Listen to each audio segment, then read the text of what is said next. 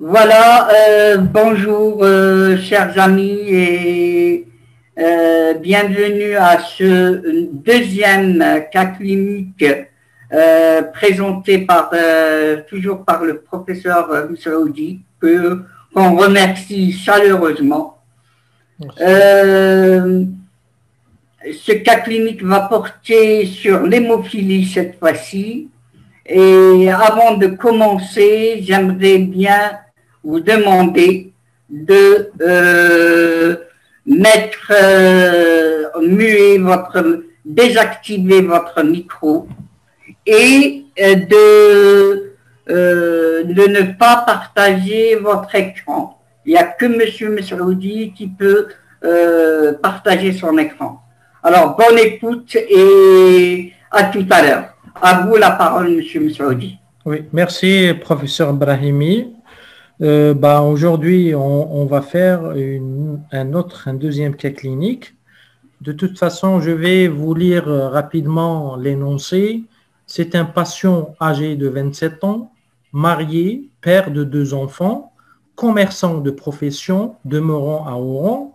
Il consulte aux urgences hématologiques pour tuméfaction douloureuse du genou gauche apparue spontanément.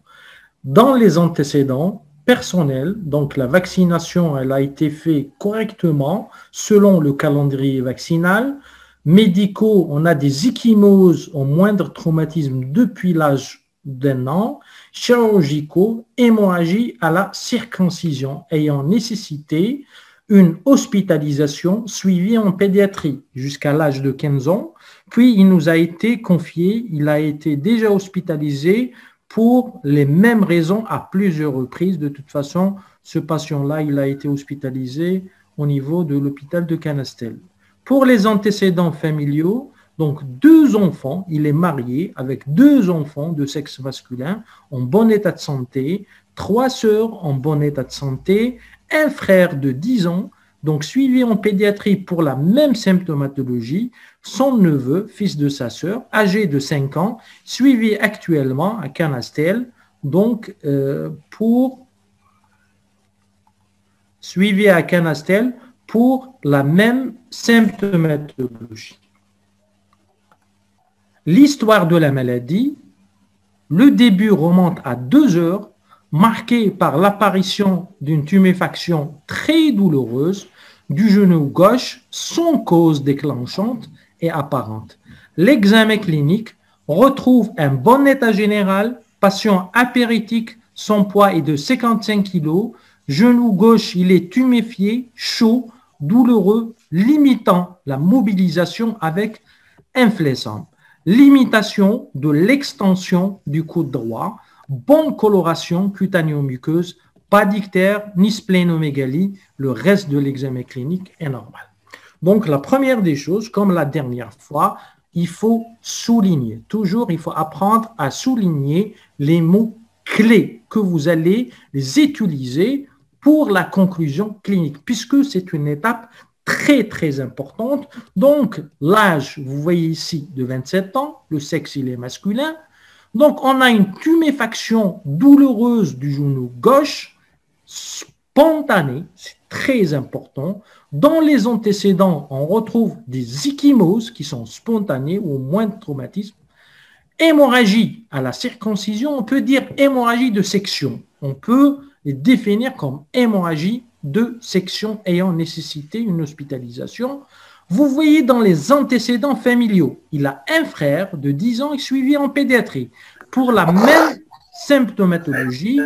Donc son neveu, fils de sa sœur, donc, il est âgé de 5 ans, il présente la même symptomatologie.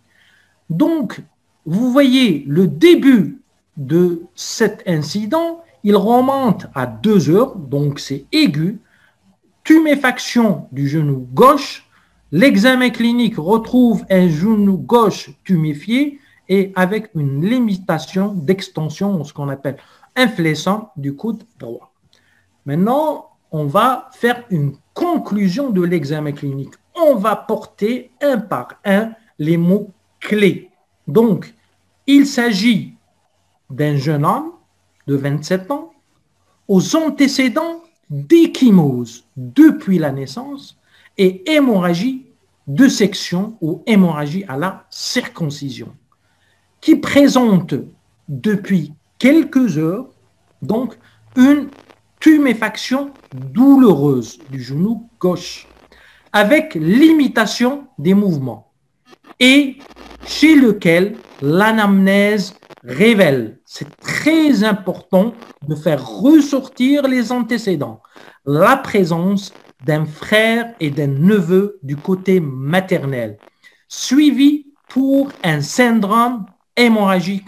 Alors, alors, vous pouvez ajouter ça, vous pouvez ne pas l'ajouter, mais c'est très important. Vous allez le voir dans le diagnostic évoqué, alors que les sœurs, ils sont saines. Parce que si on a les garçons et les sœurs qui sont atteints de syndrome hémorragique, donc ça fait suspecter certains diagnostics qui touchent les deux sexes. Donc, et si on a seulement les garçons qui sont atteints, donc on a des diagnostics qui sont suspectés d'une manière potentielle. Donc, on va discuter un gros genou chez un adulte jeune. La première des choses qu'il ne faut pas l'oublier, il faut toujours éliminer une cause locale.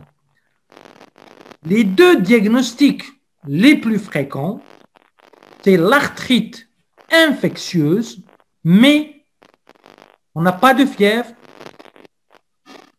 il n'y a pas de porte d'entrée chez notre patient et l'atteinte du coude et de la hanche et la tendance aux hémorragies est plutôt contre. D'accord? La tuberculose du genou. Vous savez que l'Algérie, bah, c'est une zone où il y a une prépondérance de la tuberculose qui peuvent être localisées au niveau du genou et des articulations, mais le début, il est brutal. Les antécédents ne sont pas en faveur d'une tuberculose. En outre, il n'y a pas de notion de comptage tuberculeux. Vous avez noté chez notre patient, il est correctement vacciné. Ça veut dire même la vaccination de BCG a été faite d'une manière correcte. Maintenant, devant ce genou enflé, les antécédents hémorragiques, il s'agit plutôt d'une hémarthrose devant le début brutal, l'âge de survenue, depuis le jeune âge, il est suivi, antécédents personnels d'échymose post-traumatique, hémorragie à la circoncision et syndrome hémorragique chez le frère et le neveu du côté maternel. Donc, je vais discuter les maladies hémorragiques congénitales. Premièrement, je vais commencer par les moins probables, les troubles de l'hémostase primaire. Premier diagnostic, c'est les thrombopathies type thrombastenie de Glanzmann et la maladie de Jean-Bernard Soulier. Les éléments pour, c'est la présence d'échymose. Ce qui est contre, c'est les hémarthroses. Parce que les hémarthroses, ils sont vus dans les coagulopathies. On peut les voir dans les thrombopathies, mais de façon très, très exceptionnelle.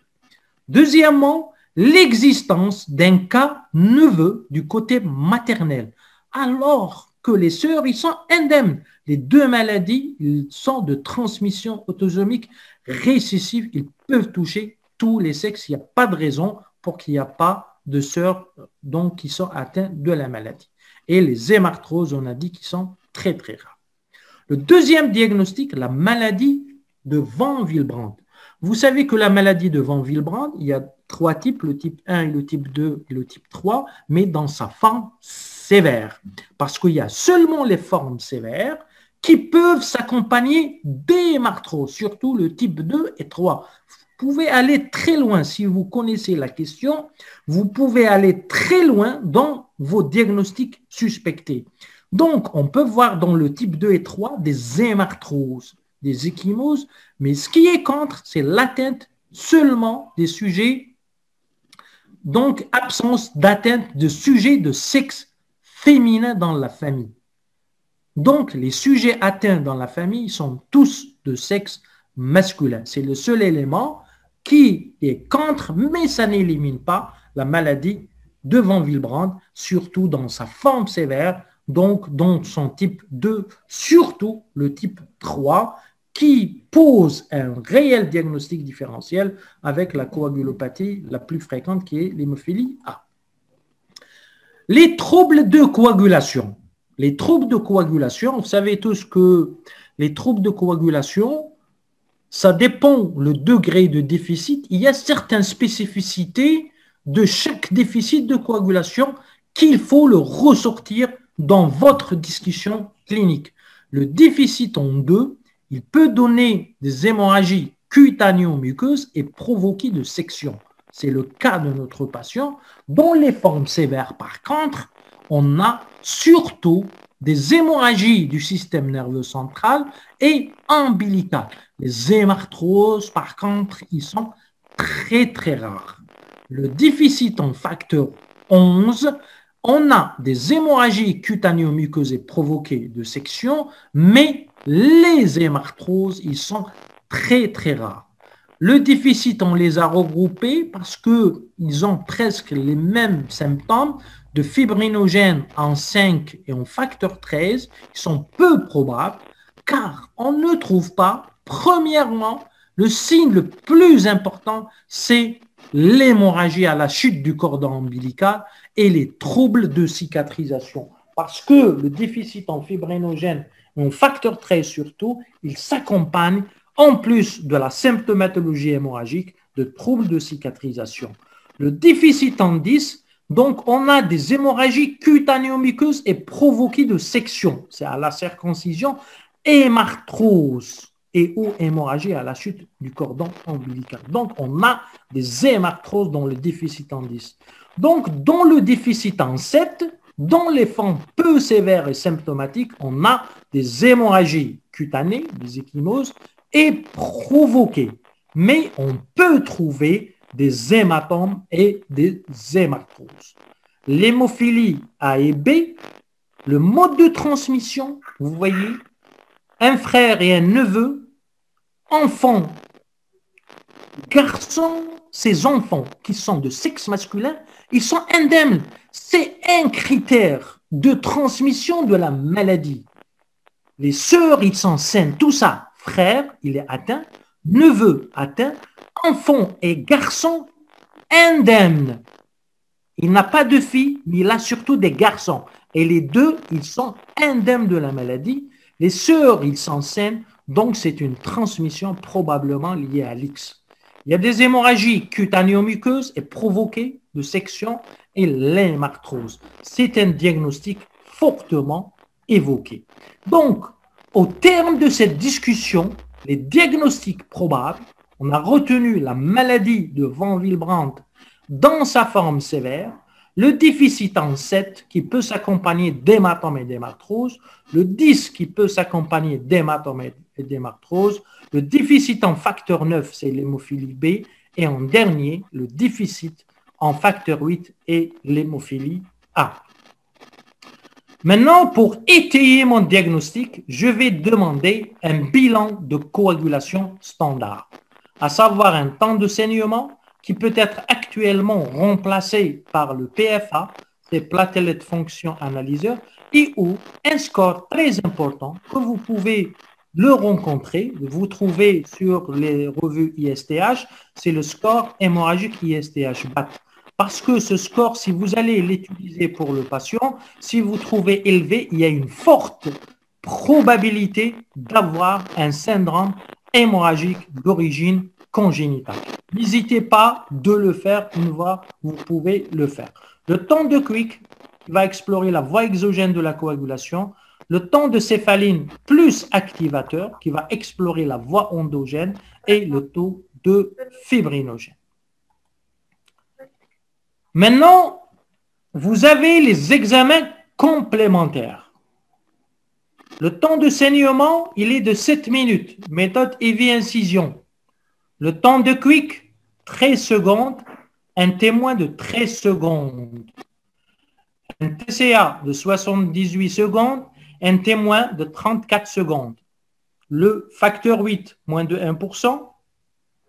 L'activité cofacteur à la ristocytine du facteur de Van Willebrand supérieur ou égal à 80%. Le fibrinogène à 3,3 grammes par litre. L'hémogramme, les globules blancs à 8500. L'hémoglobine 14. VGM 86. CCMH à 32%. Les plaquettes à 320 000. Le frottis de sang montre une normochromie, une normocytose, une répartition normale qu'il faut les calculer, la calculer en chiffres absolus, des globules blancs, donc les PNN à 78%, eosinophiles à 2%, basophiles à 0%, les monos à 15%, les lymphoplutons à 15%, les monos à 5%, les plaquettes 3 croix. Le groupage sanguin, c'est du O positif, le phénotype non fait. Sérologie virale, l'antigène HBS négatif, l'anticorps anti-HCV positif, HIV négatif. RAI non fait, manque de réactif. Radiographie du thorax face normale, la radiographie du genou. Vous voyez la radiographie du genou. Donc, elle montre une tuméfaction des parties molles avec une ostéopénie, c'est-à-dire il y a une déminéralisation osseuse. Il y a un élargissement, un élargissement épiphysaire avec un petit pincement. Donc, c'est une arthropathie subaiguë stade 2 selon la classification de Arnold et Lartner. Les radios du coude droit et de la hanche n'ont pas été faits. L'échographie abdominale normale, glycémie urécréate normale, Bilan hépatique, à savoir TGO 20 unités, TGP 22, gamma GT et phosphatase alcaline sérique non fait. La protédémie à 70 grammes par litre. La recherche d'inhibiteurs faite à plusieurs reprises négatives. Zéro unité pétesta. Maintenant, comment vous allez, vous avez des diagnostics suspectés, comment vous allez analyser votre bilan de coagulation d'une manière pratique? Donc, pour préciser, maintenant, puisqu'on a suspecté certaines pathologies de l'hémostase, surtout la maladie de Van Willebrand qu'on l'a retenu au début. Donc, pour préciser s'il s'agit d'un trouble de l'hémostase primaire ou de la coagulation au niveau de sa voie exogène ou endogène, je vais demander un bilan d'orientation, un temps de saignement, un temps de quick qui va explorer la voie exogène de la coagulation plasmatique et le TCA, de céphaline plus activateur, qui va explorer la voie endogène de la coagulation plasmatique. Vous voyez le temps de saignement, il est moins de 8 minutes, il est normal. Le TCA, il est allongé, 78 secondes par rapport à un témoin de 30 secondes. Donc, c'est supérieur à 10 secondes par rapport au témoin, le temps de quick, il est normal. 13 secondes et un témoin de 13 secondes. De même que le fibrinogène, il est à 3,3 grammes par litre. Donc, c'est une anomalie isolée ou un allongement isolé de la voie endogène de la coagulation plasmatique. Le dosage du facteur 8, il est moins de 1%. Parce qu'on le fait par ordre de fréquence. On va commencer par le 8. Si le 8 il est normal, je vais faire le 9. Si le 9 il est normal, je vais faire le facteur 11 et ainsi de suite. Donc, le temps de saignement, il est normal, mais ça n'élimine pas une maladie de Van Willebrand. Il ne faut pas dire que dans la maladie de Willebrand, le temps de saignement, puisque la sensibilité du temps de saignement dans la maladie de Willebrand va aller de à peu près de 60%. Donc, ce n'est pas toutes les maladies de Willebrand qui allongent le temps de saignement. Donc, je vais demander l'activité cofacteur à la ristocytine du facteur de Willebrand qui devrait être supérieur à 50%. Donc, elle est 80%. Qu'est-ce que ça veut dire? Elle est normale. Et l'antigène, normalement, on le fait, on étudie le rapport, mais ça n'a pas été fait. Mais malgré ça, vu que l'activité, elle est augmentée ou elle est normale, il ne s'agit pas d'une maladie de Van Willebrand. Et je vous dis que c'est le premier diagnostic différentiel avec l'hémophilie sévère. Parce que dans le type 3, on a un facteur 8 très bas qui peut être inférieur à 1%, mais l'activité cofacteur elle est diminuée et l'antigène, est diminué. C'est pour ceci, donc l'hémophilie A, dans sa forme sévère, elle pose un diagnostic différentiel avec la maladie de Van Willebrand, surtout de type 3. Donc, l'hémophilie A étant la plus fréquente, je vais doser le facteur 8 qui est moins de 1%, donc l'hémophilie A, ce qui élimine l'hémophilie B. Donc, c'est une hémophilie A sévère parce que le taux de facteur 8, il est moins de 1%.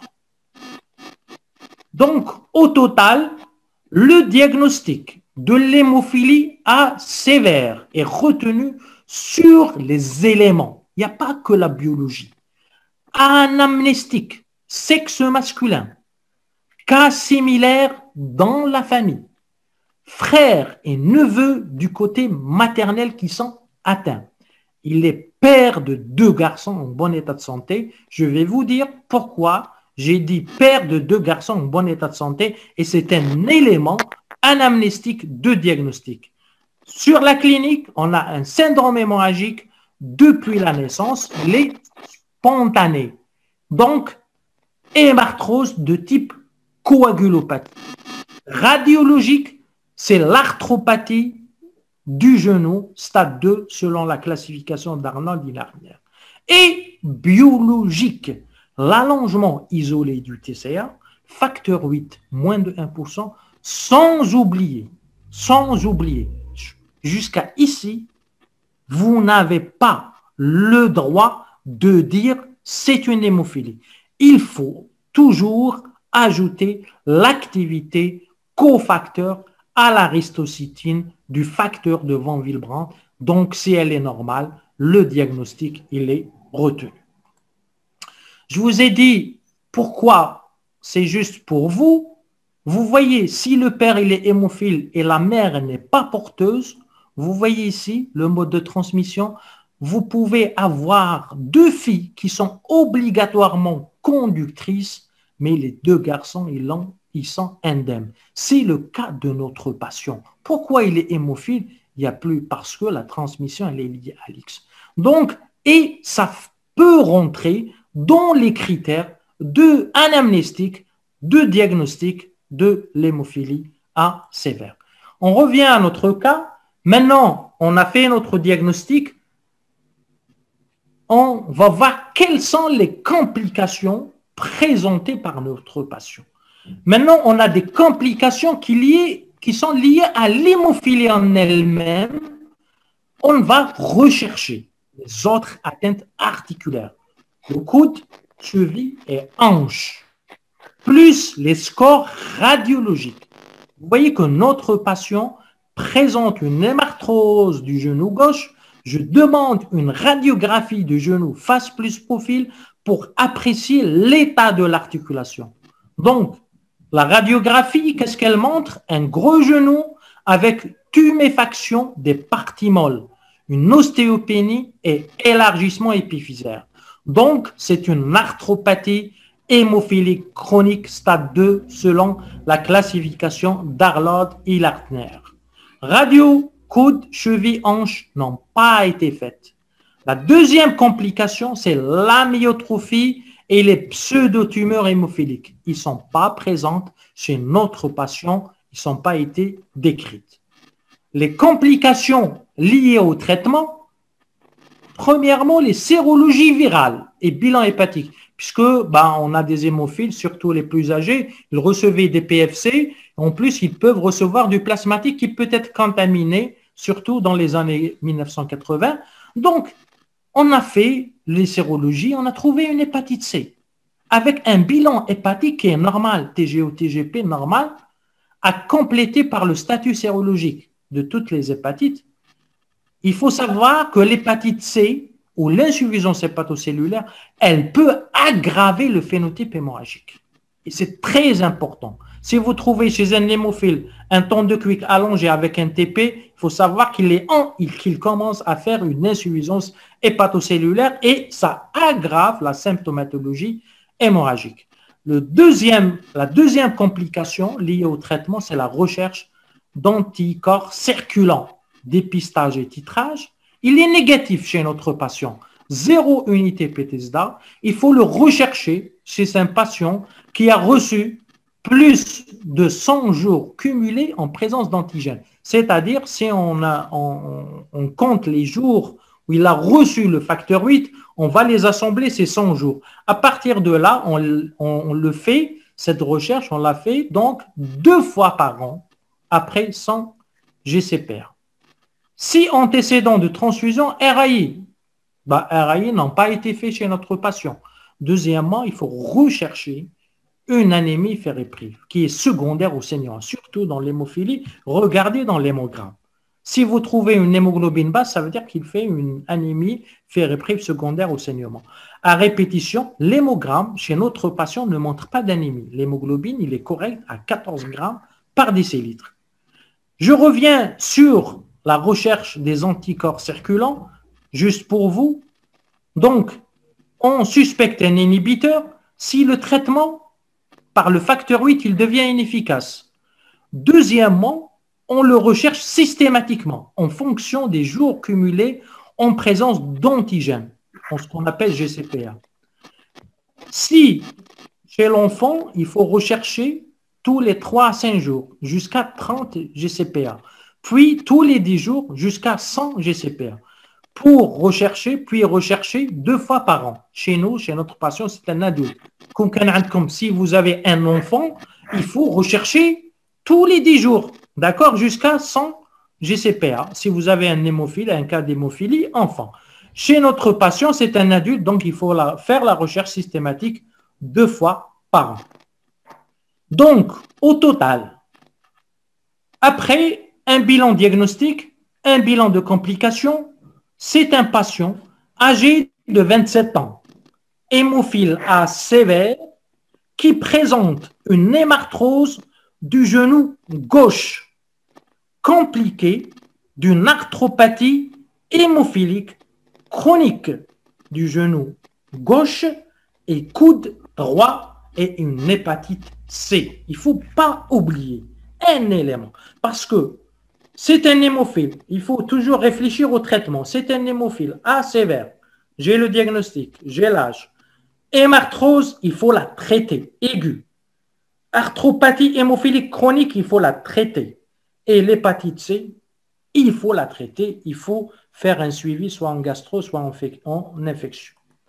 Donc, pour le bilan pré-thérapeutique, le groupage ABO, phénotype complet, c'est un haut résus positif, phénotype non fait. Les RAI non faites par manque de réactifs. Sérologie, l'antigène HBS négatif HCV, anticorps anti-HCV, positif HIV négatif.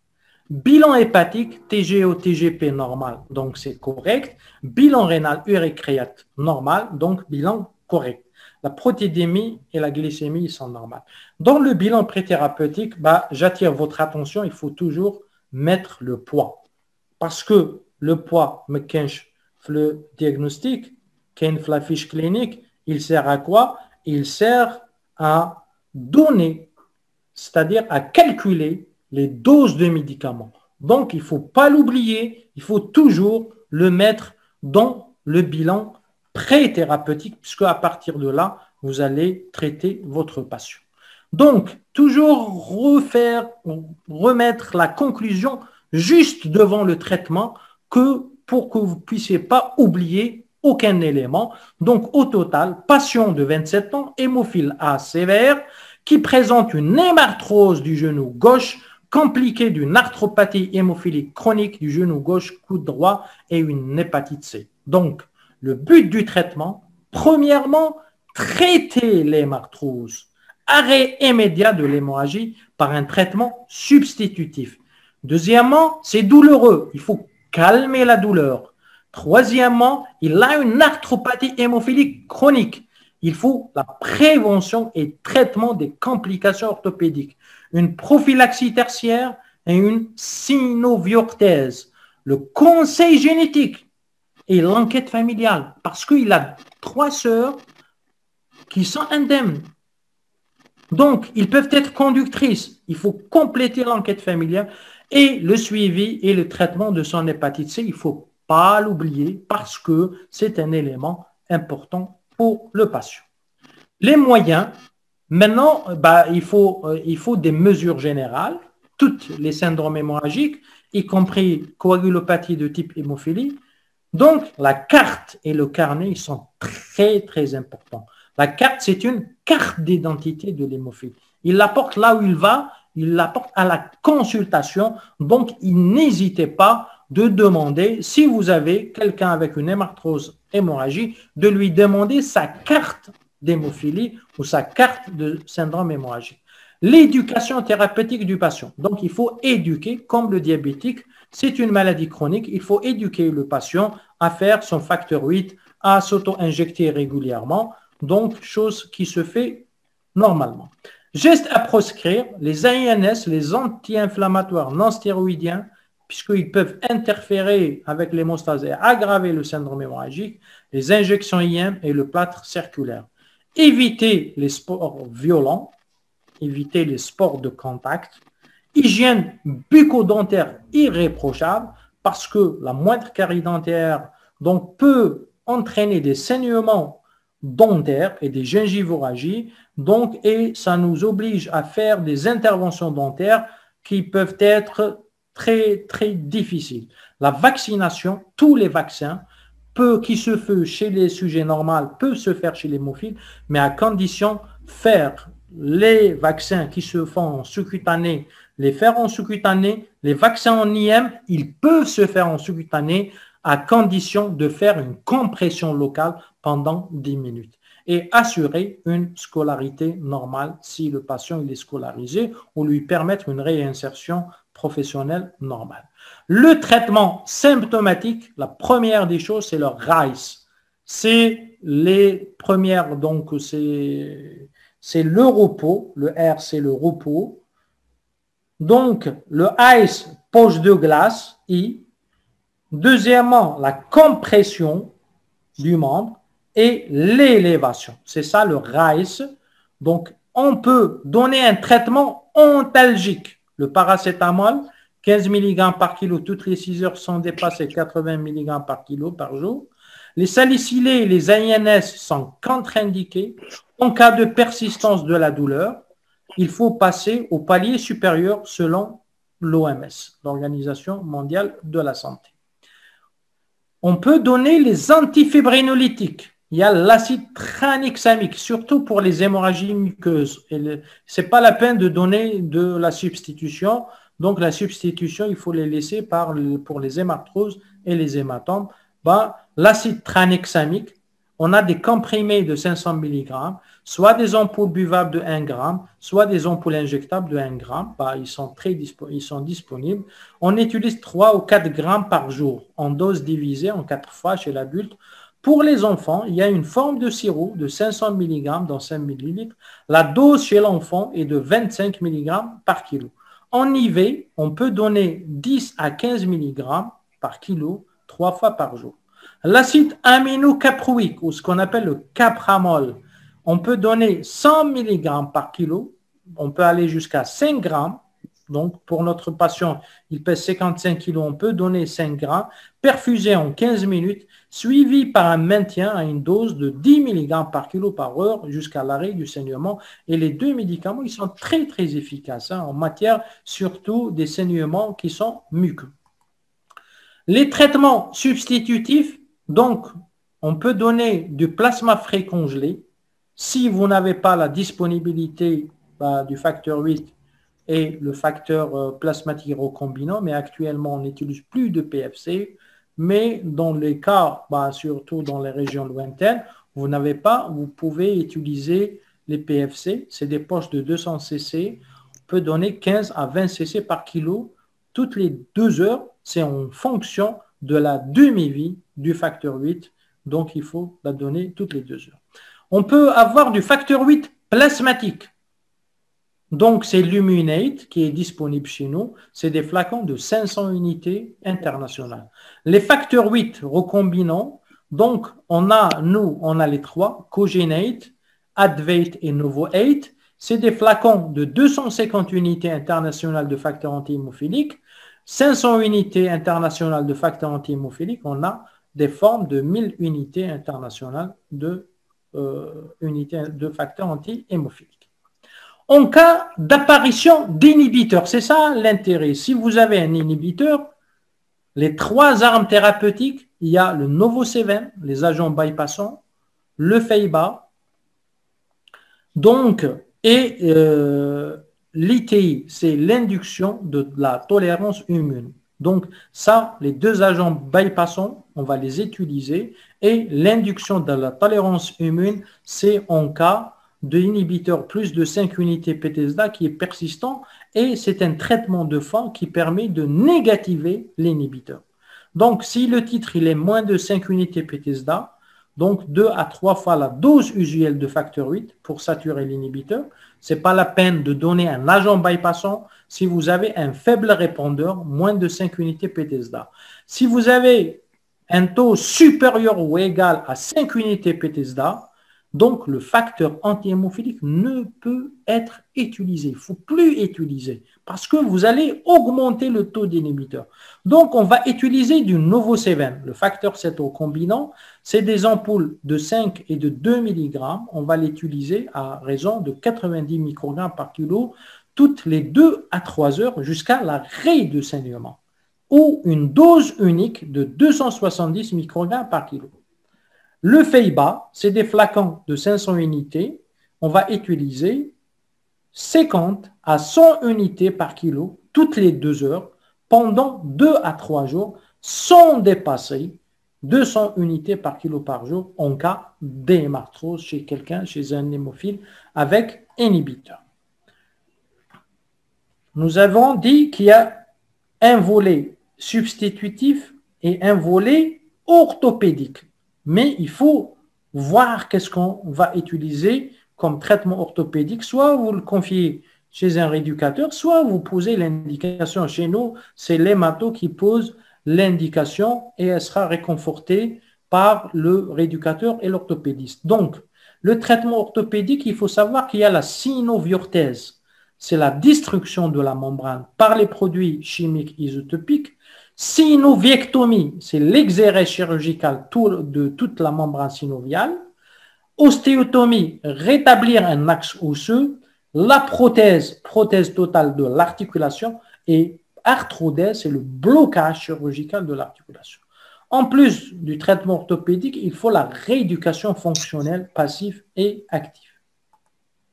Maintenant, l'indication chez notre patient. Vous pouvez même dans l'indication reprendre la conclusion de l'examen clinique parce que c'est très important. À partir de là, vous pouvez traiter votre patient. Donc, il faut une hospitalisation du jour. Il ne faut pas l'oublier. Hospitalisation du jour. Contrôle de la carte et le carnet d'hémophile. Est-ce qu'il y a le nom, prénom, l'identité, la sévérité de l'hémophile, tout. Le RICE, le repos, poche de glace, compression, donc surélévation, immobilisation par une plâtrée, pas un plâtre circulaire, une plâtrée du genou, sinon on a des gaines qui peuvent donc entraîner l'immobilisation. Et qu'est-ce que je fais par la suite? Je calcule les doses du facteur 8. Il faut savoir qu'une unité par kilo augmente le facteur 8 circulant de 2%. Le taux cible pour une hémarthrose, c'est quoi? C'est 40%. Donc, qu'est-ce que je donne? 20 unités par kilo, soit une substitution en urgence par facteur 8 recombinant à raison de 1000 unités internationales, qui est injectée en intraveineux direct, une perfusion lente, donc de 8 heures, toutes les 8 heures, pendant 1 à 2 jours, selon les recommandations de la Fédération mondiale des hémophiles. À partir de là, je peux donner un antalgique Selon les paliers de l'Organisation mondiale de la santé, chez mon malade, je peux donner du paracétamol en comprimé de 1 gramme 2 à 3 fois par jour. Et débuter la rééducation passive et active dès la disparition de la douleur. Donc le premier, deuxième jour, disparition de la douleur, il faut pour reprendre la mobilité de l'articulation. L'apprentissage du traitement à domicile. Pourquoi l'apprentissage? Parce que c'est très important dans la prise en charge de la maladie par une éducation thérapeutique. Parce que il faut instaurer chez ce patient une prophylaxie tertiaire selon le protocole national. Parce que s'il ne fait pas de traitement à domicile, on ne peut pas instaurer une prophylaxie tertiaire. Et le traitement orthopédique, c'est la synoviorthèse au niveau de l'articulation du genou gauche, l'exatrium ou l'itrium, ou bien synoviectomie chirurgicale. Je reviens sur le, la prophylaxie tertiaire, c'est la prévention de la maladie. Donc, mon malade a fait un syndrome hémorragique type hémarthrose. Je l'ai traité. Il a une arthropathie hémophilique chronique du genou et du coude. Je fais la prophylaxie tertiaire selon le protocole national et ou une prophylaxie personnalisée par l'étude de la pharmacocénétique. Je vous dis que l'étude de la pharmacocénétique, chose qui se fait, chose qui se fait sur le plan pratique actuellement. On l'a fait, nous, pour certains malades. Donc, il faut savoir, c'est ça le protocole national. L'hémophilie A, le palier 1, c'est 15 à 25 kg une fois par semaine, 2, 20 unités, et 3, 20 unités. Je calcule les doses pour mon patient. Mon malade, il a un poids de 55 kg. Je commence par 750 unités internationales une fois par semaine et j'augmente au palier 2 ou 3 en fonction de la symptomatologie hémorragique. Donc, j'ai traité les l'hématrose, j'ai traité l'arthropathie hémophilique chronique. Qu'est-ce qu'il me reste? Donc, il me reste euh, euh, l'enquête familiale. Mais avant ça, je vais parler, bah, ça c'est un malade qui est suivi chez nous. C'est des graphes de nos malades. Euh, c'est un logiciel qui a été donné par un laboratoire, donc qui nous permettra de faire deux dosages. Vous voyez ici, un dosage, après avoir injecté ici le facteur 8, on fait le premier dosage à 4 heures, deuxième dosage 24 heures après, et vous voyez, donc ce logiciel, il nous donne bah, bah, ces courbes babésiennes, il va nous donner la demi-vie, c'est de 12,2 heures du facteur 8, il va nous donner le taux où le facteur 8, il est supérieur à 1%. C'est 71 heures. Ça veut dire quoi? C'est 3 jours. Ça veut dire quoi? Ça veut dire que la prophylaxie, je peux la faire tous les 3 jours. Et cette courbe, elle est très, très intéressante. Donc, elle est préférée par rapport à la prophylaxie en fonction du poids. C'est ce qu'on appelle la courbe de pharmacocinétique. D'accord? Maintenant, j'ai pas traité, j'ai traité le malade, mais il faut traiter la maladie. La maladie, elle touche le patient et son entourage. Il faut faire l'enquête familiale. Et surtout, surtout, le dépistage des conductrices. Parce qu'il a trois sœurs saines, donc le test de dépistage, il faut faire le facteur 8 circulant et l'antigène Van Willebrand. Et il faut faire le rapport entre le facteur 8 circulant sur l'antigène du facteur Van Willebrand. Vous avez un taux sur un taux. Si le rapport il est moins de 0,7, c'est une conductrice d'hémophilie. Donc, mon patient n'a pas de fille, donc ce n'est pas la peine de faire le dépistage, mais il a trois sœurs cliniquement indemnes, mais qui peuvent transmettre la maladie et qui peuvent être conductrices. C'est pour ceci qu'il faut quand même réfléchir à faire l'enquête familiale d'une manière bah, euh, efficace. Donc, on a traité tous les côtés pour le malade. Maintenant, c'est la surveillance. À court terme, il faut surveiller l'articulation. J'ai une hématose aiguë du genou, il faut voir la douleur, chaleur, tuméfaction et reprise de la marche. Est-ce qu'il peut marcher d'une manière euh, normale? Biologique, bah, je peux faire ou avoir une correction de TCA une heure ou deux heures après l'injection de facteur antimophilique, je peux étudier la cinétique du facteur 8, comme on l'a fait. Si pas de réponse clinique, qu'est-ce que vous allez faire? Il faut rechercher un inhibiteur, donc, et le traitement, ça va être complètement différent. À long terme, la prise en charge, elle est multidisciplinaire. Qu'est-ce qu'il faut faire? Il faut surveiller le syndrome hémorragique et rechercher les localisations dangereuses, surtout cérébrales ou un hématome du psoas ou une, une hémorragie digestive. L'examen clinique à chaque consultation de toutes les articulations et un examen général. Surveillance orthopédique à chaque consultation avec le rééducateur tous les six mois. Le score clinique orthopédique et les scores radiologiques. N'hésitez pas à demander des radiographies à la moindre suspicion d'une arthropathie hémophilique chronique. Tous ces données-là, ils devraient figurer sur le carnet et le dossier du suivi de l'hémophilie. La surveiller l'apparition des complications tous les six mois, on fait les sérologies HIV, HBH, HCV, un statut sérologique, un bilan hépatique tous les six mois. Pour mon patient, suivi et traitement de l'hépatite C en collaboration avec le service de gastro-entérologie. C'est très important, ou un syndrome ou un service d'infectiologie.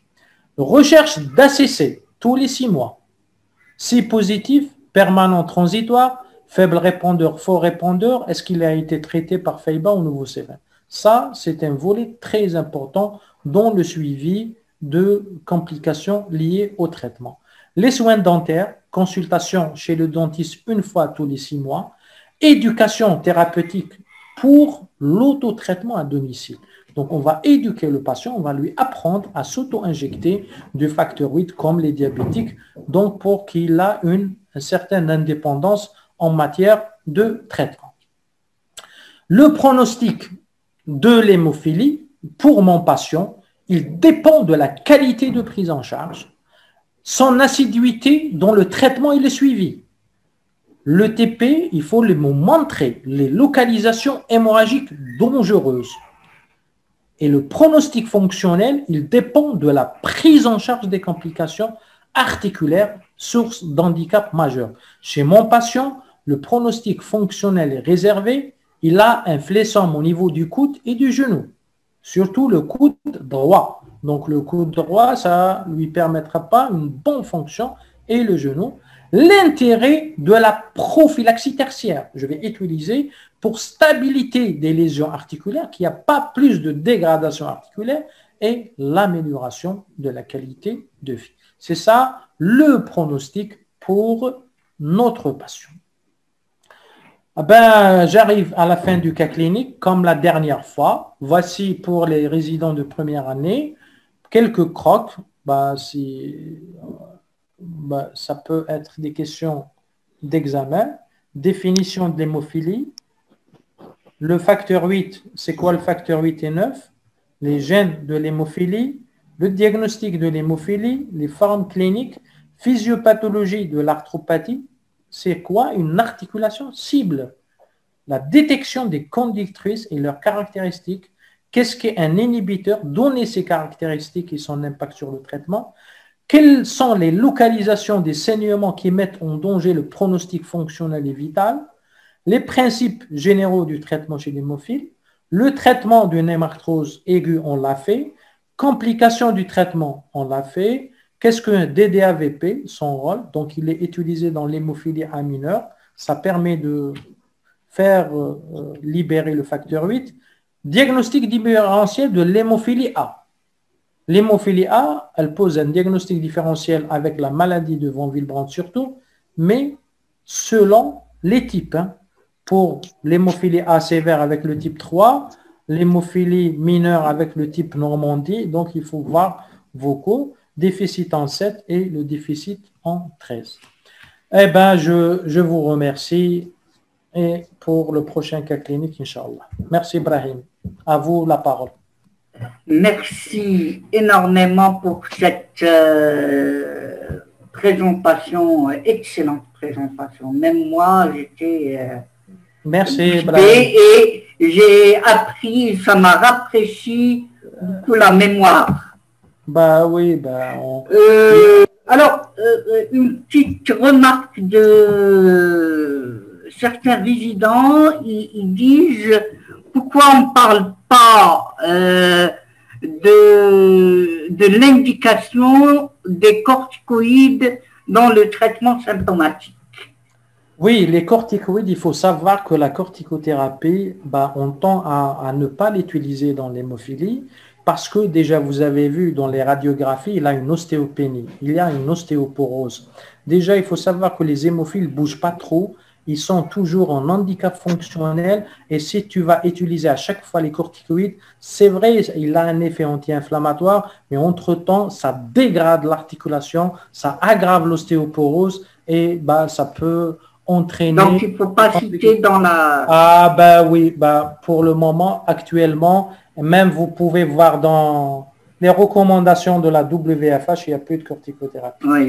C'est le facteur 8. Le meilleur traitement ontalgique, c'est le RICE, le repos, glace, compression, élévation, plus le facteur 8, mais immédiatement. Il ne faut pas laisser un hémophile traîner. Une fois il, est, bah, il vient en urgence, il faut le traiter rapidement. Et en plus de ça, c'est-à-dire si l'hémophile il est traité à moins de deux heures de son hémarthrose, on a besoin d'une seule injection. S'il est traité à plus de deux heures, on a besoin de 3, 4, 5 injections, sinon plus. D'accord, merci. Pour la deuxième question, euh, elle ne concerne pas forcément ce cas clinique, mais euh, euh, on pose la question, s'il vous plaît, la conduite à tenir devant une intervention, avant une intervention euh, chirurgicale ou une extraction dentaire chez un hémophile.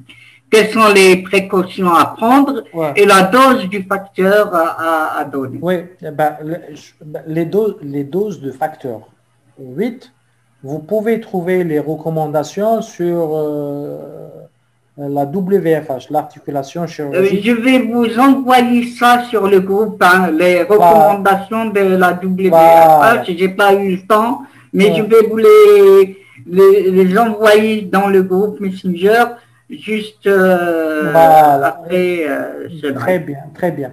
Il faut savoir que l'extraction, elle est considérée comme une chirurgie mineure. Si vous êtes devant une chirurgie mineure, c'est une hémorragie muqueuse, vous pouvez utiliser l'hexacyle. C'est l'acide tranexamique. Vous pouvez utiliser 1 gramme 45 minutes avant les soins dentaires, si c'est des soins dentaires hein, ou d'un geste qui n'est pas invasif. Donc, c'est 1 gramme 45 minutes, il faut les répéter toutes les 6 heures jusqu'à l'arrêt du saignement. Si le geste est invasif, il faut utiliser le facteur 8 avant le geste avec un taux cible de 40 à 50%. Ça veut dire que vous allez utiliser 25 unités par kilo. Il faut l'utiliser 45 minutes avant le geste parce que dans la cinétique du facteur 8, le pic du facteur 8, il est retrouvé 45 minutes après l'injection. Et comme ça, vous pouvez faire votre intervention. Et le traitement devrait être poursuivi pendant une ou deux jours jusqu'à l'arrêt du saignement. Et il faut savoir que au niveau, c'est-à-dire au sixième jour, on peut avoir une croûte qui va chuter, il y aura un saignement, on peut ajouter là une dose supplémentaire. C'est ça ce qu'il faut faire devant bah, un acte chirurgical d'hémophilie. Mais vous pouvez trouver sur, euh, bah, va vous les donner, quels sont les taux cibles en cas d'hémarthrose, en cas d'hématome, en cas de chirurgie mineure, en cas de chirurgie majeure? Vous trouvez la dose et même la durée, combien il faut donner? Bah, vous pouvez utiliser. Et vous pouvez faire un cas clinique comme ça, quelqu'un qui présente aux urgences pour un hématome ou une appendicite et vous pouvez bah, le traiter jusqu'à la fin. Merci, merci Monsieur Messaoudi pour euh, tous ces éclaircissements. Euh, il me reste qu'à vous dire que la prochaine fois, euh, on va avoir, Inch'Allah, un un, cas clinique sur le petit et ce sera présenté par le professeur Arabi Abdesamad de l'EHU d'Oran. Mais, contrairement à cette fois-ci, on va vous envoyer l'énoncé dans le groupe, l'énoncé du cas clinique dans le groupe, euh, deux heures avant, avant le live, et vous êtes obligé de nous répondre pour vous laisser assister à ce live. Eh bien, c'est une bonne chose, Brian. Voilà, euh, il me reste qu'à vous dire euh, merci et à la prochaine fois, Inch'Allah. Inch'Allah, Inch'Allah. Merci, merci. Au revoir tout le monde. Au revoir, au revoir, au revoir.